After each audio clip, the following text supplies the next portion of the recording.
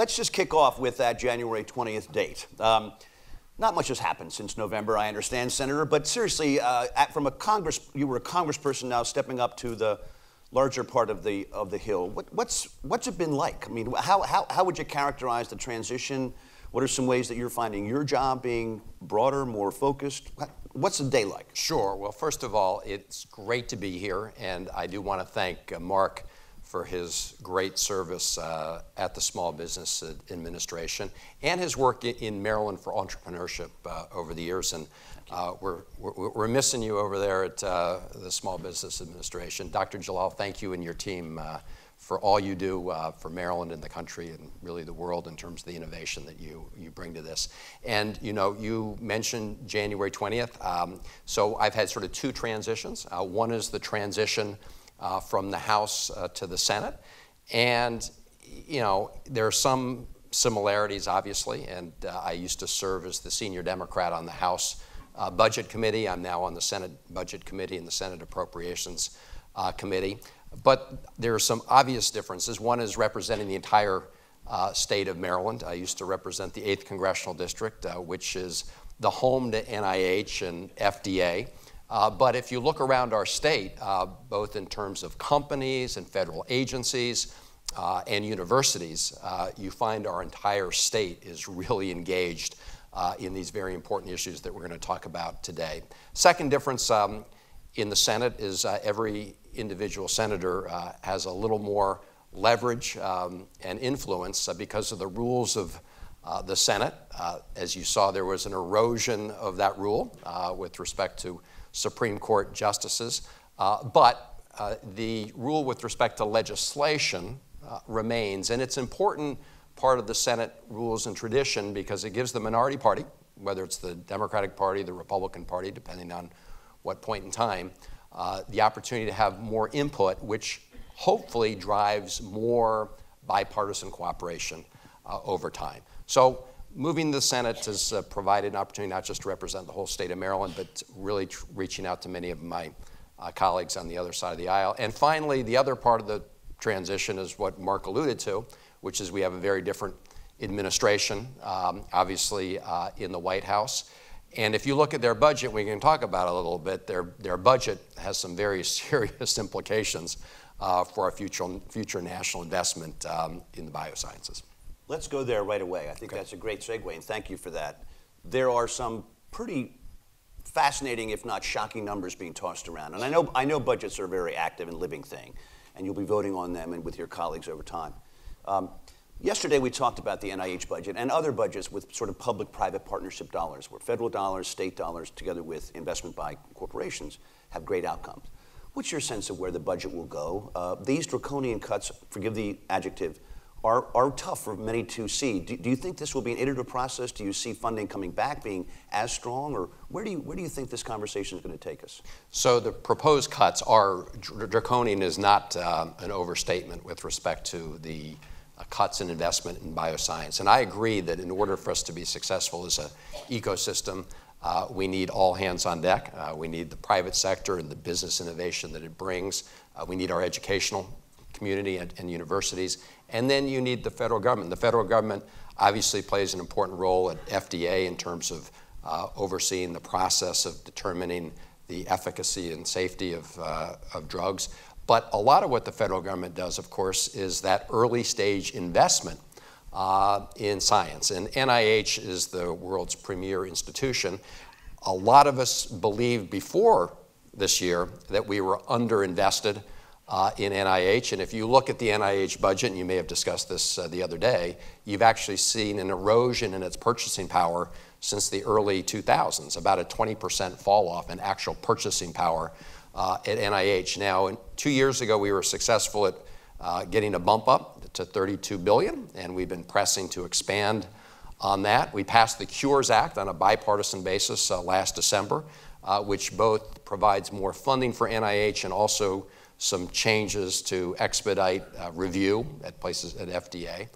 So it was a shock, and I think really kind of a bipartisan shock uh, to see the, the Trump administration budget uh, come down with a almost $6 billion cut uh, to the NIH budget. And Uh, Dr. Collins, who's done just a terrific job, in my view, uh, at NIH, says the two things that always keep him up at night are number one, the number of meritorious applications that come into the NIH uh, for new research, uh, and the fact that he's not able to fund the, the, the, percentage that he used to be able to fund in terms of the meritorious proposals, the ones that are deemed to have uh, a real potential. Uh, and second, what signal that sends to all the young scientists uh, who, on the one hand, we say, you know, we want more people in the STEM fields, which we need, but then you have sort of a flashing yellow and almost a red light when it comes to that funding, especially a red light if you're talking about a $6 billion cut. So I, I think we are going to overcome this budget proposal, but it is all tied up with not just the NIH funding and the health you know, HHS funding, but the overall global numbers um, in the budget for defense and non-defense, which gets you in a much larger conversation. But I am hopeful uh, that we're going to be able to uh, at least prevent the cut. And I would, the, the problem is I wish we were in the, ex, the expansion mode rather than the defense, defensive uh, posture here. So one of the assets we talked about yesterday are the educational institutions, both in the state and in this region. What are some ways you see the roles of the University of Maryland system, Johns Hopkins, and other private groups playing in continuing to fund innovation in this sector?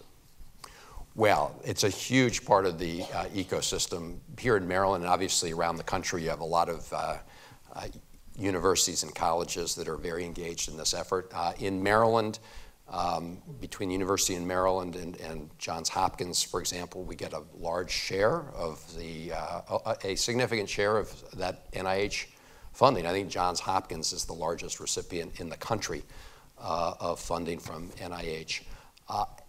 Look, those institutions, number, number one, we can talk about, we need to get more of our, more students engaged in the STEM uh, from an early age. In fact, Dr. Jallal and I were just talking about how uh, we really need to focus a lot on middle school uh, students um, and, uh, and, and girls and women. Um, because if you look at the graduation rates, I think about 60% of our college graduates are women, uh, but under 40%, I think about 36% go into the STEM areas. Uh, so we want to do a lot of that, and I was just out at the, the Maryland Bio uh, mobile van, which goes around Maryland and tries to spark the imagination of young people. So we got to do that. Obviously, universities and the private sector and NIH we have a great opportunity to leverage a lot of talent there uh, through CRADAs, and I, I understand the, you know, the fellow who's in charge of translational research over at NIH uh, was here the other day. But I, I, do think it's an area where we in this region um, can do an, a greater job of maximizing uh, the potential. We have these incredible national assets right here uh, in Maryland and in our region. Um, we, we need to better leverage uh, those assets. And, and universities can help be part of that ecosystem. That was part of the conversation yesterday, was what they said we're sort of competing with New York and Boston and Palo Alto, and then you say Maryland, like our state versus an individual city or a specific, specific place with, in, in, inside a city like Cambridge. Um, how do you see the region maybe working more together? I mean, the, the Baltimore versus Columbia versus Rockville and, and this area versus uh, University of Maryland College Park. Um, do you think they'll stay sort of disparate silos in their own way, or do you see more cooperation coming forward? Well, one of, one of my goals, um, now that I have the chance to represent the, the whole state, is to work on exactly that um, with local officials as well as state officials. Uh, I know the governor was here yesterday and talked about uh, trying to bring all the sort of resources uh, together, uh, and we need to be working on a, uh, a you know, across you know, local, state, and federal government, and with obviously with the private sector and the university system. So I, I think there's a great desire in the Baltimore area mm-hmm. uh, to, you know, be, become, you know, part of that ecosystem. Um, and you know, you've got the 95 corridor, you got the 270 corridor. So I think there's a lot of potential, and I would just, uh, you know, invite anyone here who has ideas on how we can better, you know, uh, leverage those Maryland assets and regional uh, as well uh, here. I mean, it's interesting, about two weeks ago, uh, I was at an event in Baltimore, in, in, the, in the nation's capital, in D.C., about regional cooperation in the D.C. area and how D.C. itself in this region could brand itself in a way so it wasn't just seen as a sort of government uh, company town, but what we're talking about here, trying to really uh, create a, uh, a, a, brand so that when people think of Maryland um, or this region, that they think, in addition, I mean, in addition to the federal government, you've got all these um, exciting uh, companies and businesses involved in innovative uh, research and, and the biotech area, and obviously in Maryland we've got cyber tech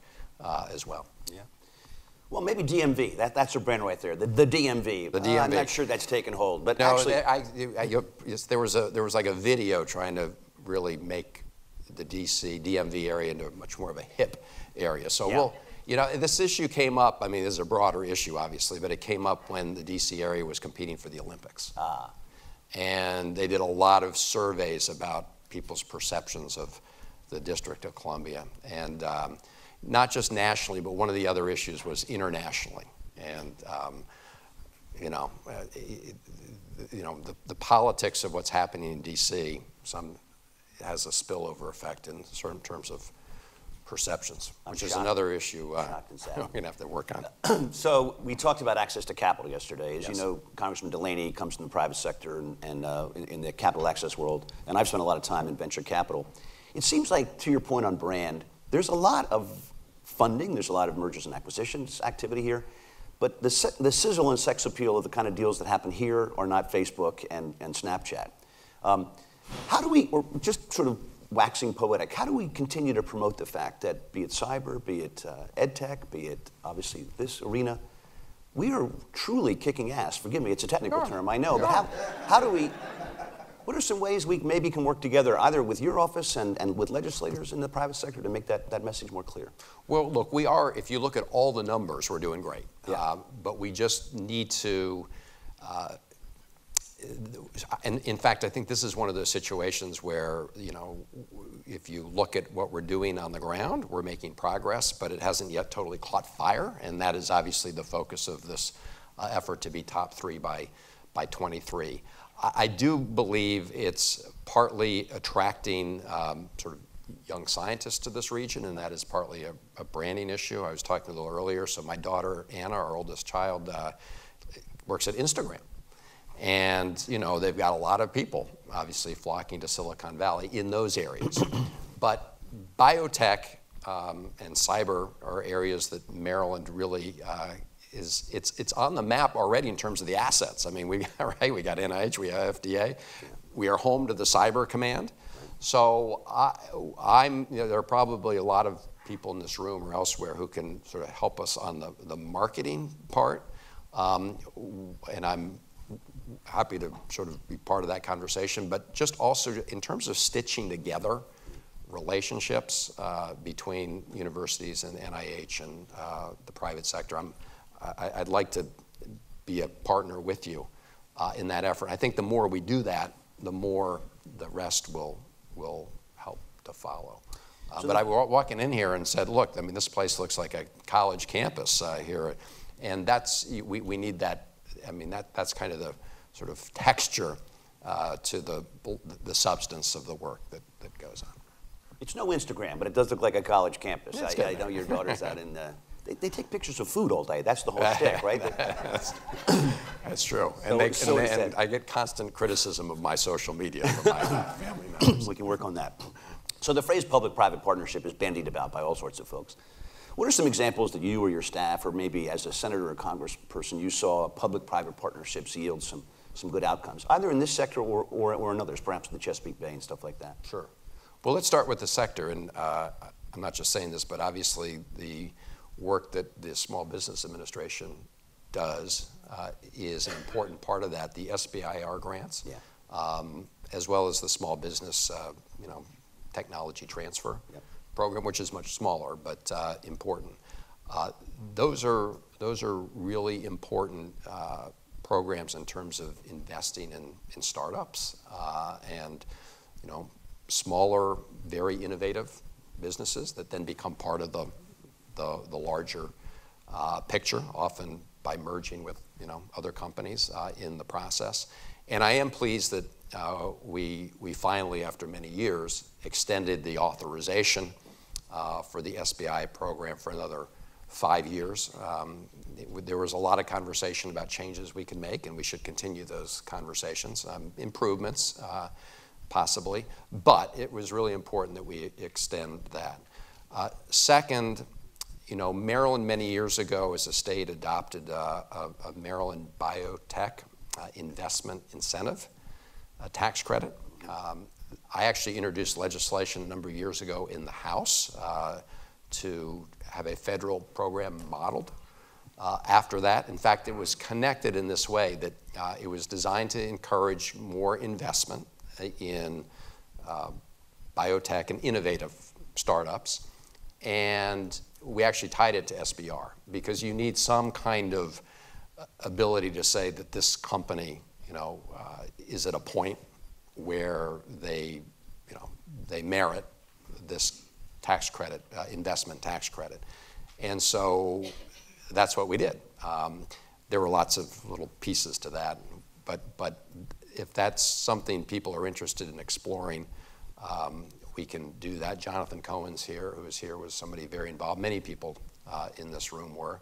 And then, of course, at the state of Maryland, um, they just passed the state expansion of the R&D uh, tax credit to encourage more investment uh, here in Maryland. So I think those are tools to help leverage more, you know, private-public partnership.